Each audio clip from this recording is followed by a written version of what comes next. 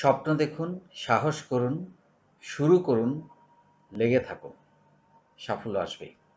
এই কথাটা আমি সবসময় বলে থাকি এবং অনেক তরুণের মাঝে এই কথাটার একটা ইম্প্যাক্ট ইতিমধ্যেই পড়েছে মনে হচ্ছে। কারণ হচ্ছে যে আমরা আসলে স্বপ্ন তো দেখি, সবাই আমরা স্বপ্ন দেখি, সবাই স্বপ্নবাজ। কিন্তু আমরা সাহস করি না, আমরা শুরু করতে পারি না। সো এখানে যেটা দরকার যে স্বপ্ন দেখি কিন্তু আমরা সাহস করি না, শুরুও করতে পারি না।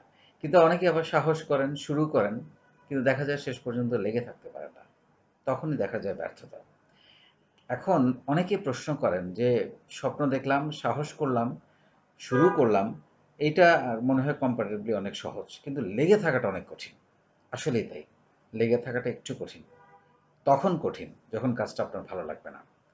তার মানে হচ্ছে লেগে থাকার জন্য যে এটা দরকার, অনেকে প্রশ্ন করেন, কীভাবে লেগে থাকব? লেগে তো থাকতে পারি না। কিছুদিন করার পর দেখা যায় যে সরে যাচ্ছি, ওই স্বপ্ন থেকে, ওই কাজ থেকে সরে যাচ্ছি। এটার আমার কাছে মনে হয় যে একটাই ওষুধ বা একটাই উপায়।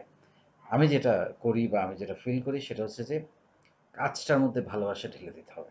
কাজটা যদি আপনার ভালো লাগে, আপনার যদি কাজটার মধ্যে ভালোবাসা খুঁজে পান, কাজটার মধ্যে আপনি যদি আনন্দ খুঁজে পান এবং সেইটা করতে আপনার কখনো ক্লান্তি লাগবে না। সেটা করতে আপনার কখনো মনে হবে না যে আমি এইখান থেকে উঠে যাই, সরে যাই। আমার যে কমিটমেন্ট সেখান থেকে আমি এতটুকু সরে যাই। সো যেটা দরকার সেটা হচ্ছে যে ভালোবাসাটা ঠেলে দিতে হবে।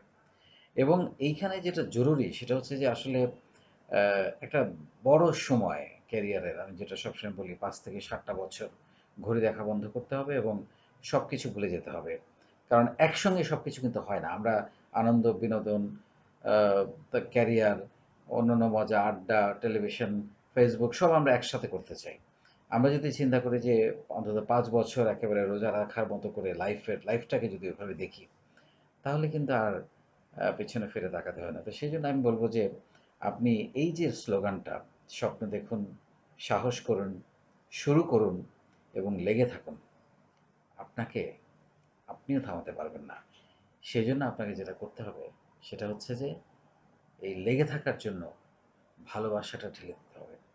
আপনার কাজটার পিছনে কাজটাকে ভালোবাসতে হবে। তাহলেই আপনি এগিয়ে যাবেন। অনেক ধন্যবাদ।